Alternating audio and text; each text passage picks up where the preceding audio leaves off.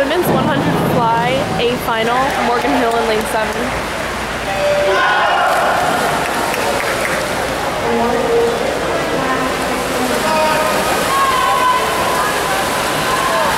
So as we have Michigan's